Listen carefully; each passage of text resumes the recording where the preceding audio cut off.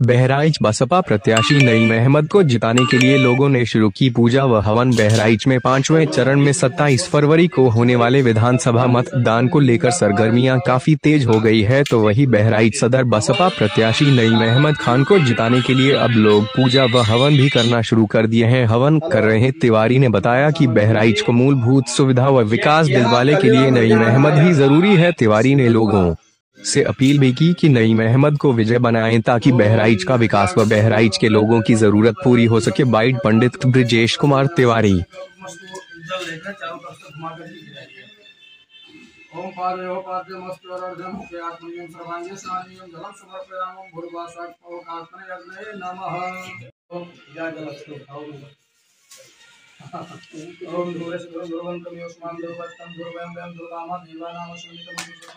सत्यम दुसरम देव ओम भूकमाग्रा मीठा